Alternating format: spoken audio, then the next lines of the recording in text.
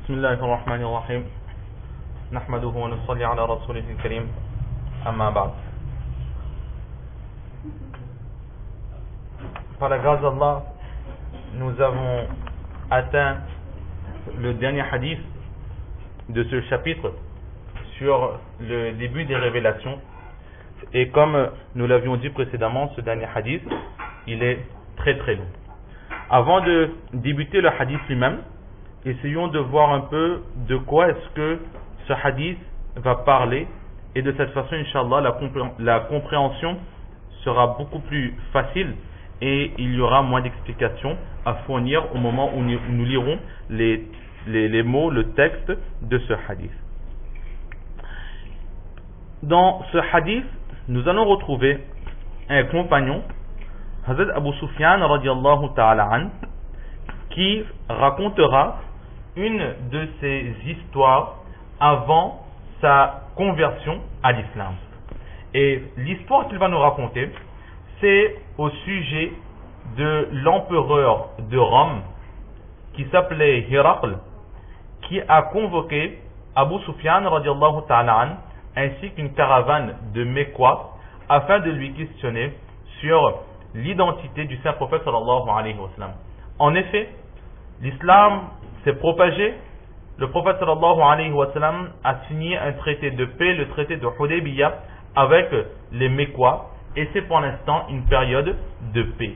Les Mécois, entre autres, Hazrat Abu Sufyan ta'ala, profitent pour faire du commerce, pour aller dans des pays étrangers et acheter de la marchandise pour pouvoir le revendre dans la péninsule arabe. Comme le Coran, Allah dit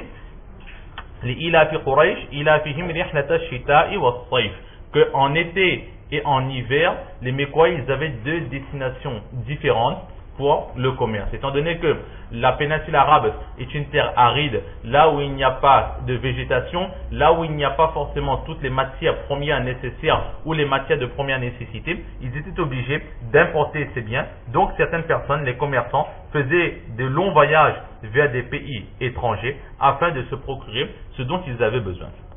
Hazrat Abu Sufyan, c'est qui? Hazrat Abu Sufyan, de son nom, Sahar, fils de Harb. Il a deux surnoms, Abu Sufyan et Abu Hanzala. Il est né dix ans avant l'année de l'éléphant. L'année de l'éléphant, nous avions déjà entrevu, c'est ce qu'Allah subhanahu wa ta'ala décrit dans la surah Al-Fil, Alam tara fa'ala rabbuka bi ashabil fil, où Abraham, il a voulu détruire la Ka'batullah avec une armée d'éléphants. Donc, dix années avant ce, cette histoire-là, Abu Sufyan il est né. Et le prophète d'Allah sallallahu alayhi wa sallam, il, est lui né un an après cette an, cette année de l'éléphant. Hazrat Abu Sufyan il est entre autres le père de l'une des épouses du saint prophète sallallahu alayhi wa sallam, en l'occurrence Hazrat Umm Habiba radiallahu ta'ala. Il est aussi le père de Hazrat Muawiyah ta'ala celui qui sera le chef des croyants, celui qui dirigera l'empire musulman après Hazrat euh, Ali et son fils Hazrat Hassan euh, radiallahu ta'ala ajma'in. Et au début, le chef des Mécois, c'était Abu Jahal. Mais une fois qu'Abu Jahal sera mort, ce sera Hazrat Abu Sufyan radiallahu ta'ala qui sera le chef des Mécois et avant sa conversion, il sera l'ennemi numéro un des musulmans et il sera le premier à monter des armées pour aller attaquer les musulmans et euh, les compagnons du saint prophète sallallahu alayhi wa sallam. Il n'acceptera l'islam que le jour de Hudaybiyah.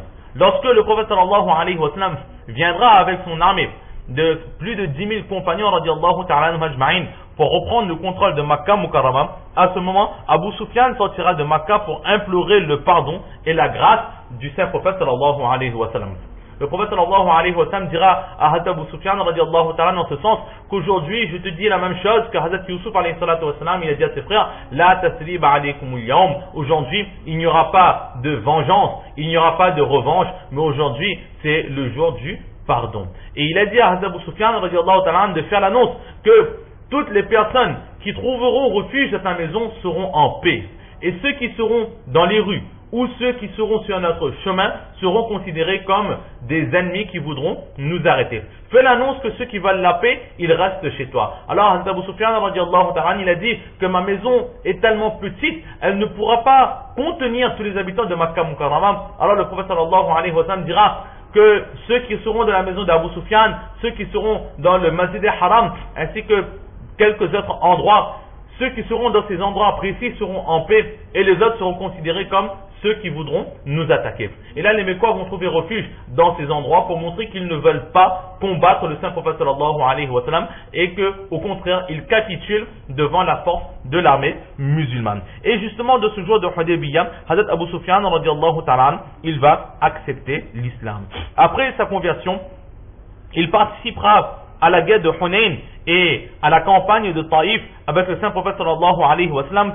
Après le combat de Hunayn, il aura comme butin de la part du saint prophète sallallahu alayhi wa sallam 100 chameaux ainsi que 40 awqiyas d'argent. C'était une unité de mesure, donc 40 awqiyas, une unité de mesure d'argent que le prophète sallallahu alayhi wa sallam lui donnera. Dans la campagne de Taïf, Hazrat Abu Sufyan perdra un de ses yeux. Un de ses yeux sera shahid, martyr, de le chemin d'Allah subhanahu wa ta'ala. Et après le décès du saint prophète sallallahu alayhi wa dans le combat de Yarmouk, qui sera dirigé par l'un des fils de Abu Sufyan radiallahu ta'ala, il perdra le second œil qui lui restait, donc il passera la fin de sa vie aveugle, mais avec la foi, le iman, en l'unicité, la prophétie, en l'unicité d'Allah subhanahu wa ta'ala et la prophétie du saint prophète sallallahu alayhi. Il décédera en l'an 31 ou en l'an 34 de l'Égypte, âgé de 88 euh, ans. Et ce sera Hazrat Osman ta'ala qui fera son janaza. Inna lillahi wa inna ilayhi raji'un. Mais avant de mieux comprendre ce hadith, il faut comprendre la situation politico-géographique à l'époque du saint prophète sallallahu alayhi wa sallam.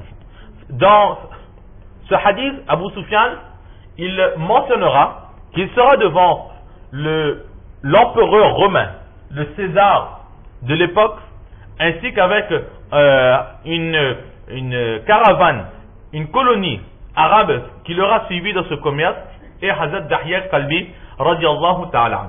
Alors comment se fait-il que ces trois personnes, un musulman, un empereur romain et une personne qui n'a toujours pas accepté l'islam, se retrouvent dans un même endroit?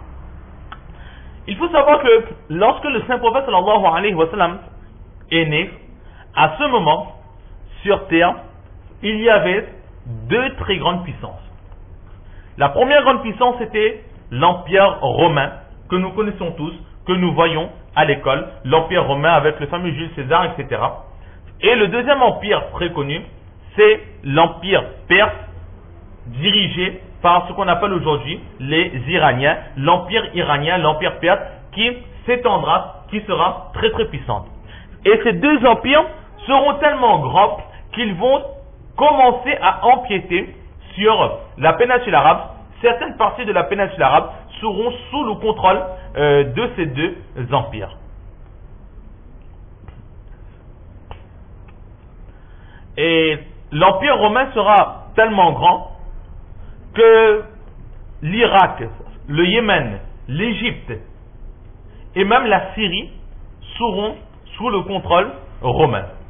Les Perses seront des idolâtres, des adorateurs du feu, alors que les Romains seront en grande majorité des chrétiens qui suivront l'enseignement de Hazrat Isa alayhi salatu wassalam.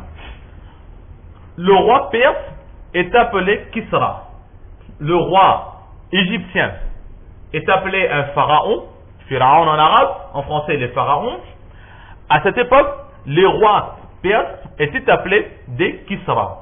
Et les rois romains étaient appelés des Caesar, des Césars. Et Caesar signifie, euh, dans la langue romaine, coupé. Pourquoi? Parce que dans la dynastie romaine, il y avait un roi, donc un César, qui est né alors que sa mère était mourante. Et pour sauver ce futur roi, on a coupé le, ventre de cette mère pour retirer le, ce futur jeune roi et il est ressorti vivant. Donc, et, ce roi-là, et même les, la cour de cette roi était très fière de ce sauvetage et à partir de ce moment, ils ont nommé cet enfant le Qaisar, celui qui a vécu grâce au fait d'avoir découpé le ventre de sa mère. Donc à partir de ce moment, tous les empereurs romains qui vont se succéder seront appelés des Qaisar. Et il faut savoir que, nous verrons aussi dans ce hadith, que euh, entre les Romains et les Perses, il y avait constamment des combats, des échafourées, des, des petites batailles, parfois de grandes batailles. Ainsi, de l'an 602 après Jésus-Christ jusqu'à l'an 614 après Jésus-Christ, il n'a cessé, ces deux empires n'ont cessé de se combattre et de se tuer. En l'an 570 après Jésus-Christ, le saint prophète sallallahu alayhi wa sallam, il est né selon les recherches de certains historiens. En l'an 610 après Jésus-Christ, donc 40 années plus tard, le saint prophète sallallahu alayhi wa sallam, il reçoit la prophétie de la part d'Allah subhanahu wa ta'ala. Donc là, à ce moment, l'islam est arrivé et l'islam, il se proclame religion d'Allah, religion d'un Dieu unique, suivant les livres qui ont été révélés par le Dieu Allah subhanahu wa ta'ala. Et à Makkah, il y a les infidèles, les Mécois, qui eux adorent les idoles, sont des idolâtres. Donc, d'un côté, les Romains et les Perses ne cessent de combattre, et de l'autre côté, à Makkah en arabe, en Arabie, dans la péninsule arabe, étant donné qu'il y a des commerçants qui font régulièrement le voyage, donc ils rapportent les nouvelles de ce qui s'est passé dernièrement de la politique euh, romaine et perse. Lorsqu'il y a eu des combats, lorsque quelqu'un a pris le dessus sur l'autre, etc. Alors, cela se répétait dans Makkah et dans la péninsule arabe. Les infidèles mécois soutenaient les Perses. Pourquoi? Parce qu'ils se disaient frères des Perses, étant donné que ces deux peuples adoraient les idoles, le feu, les astres, etc., etc.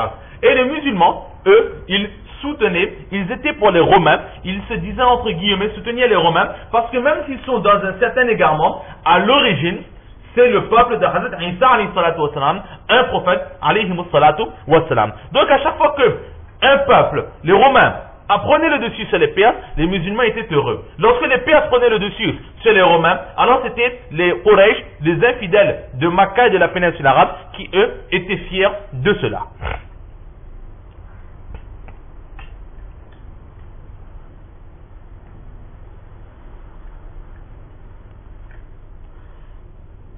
Cinq années après la prophétie du saint prophète sallallahu alayhi wa sallam,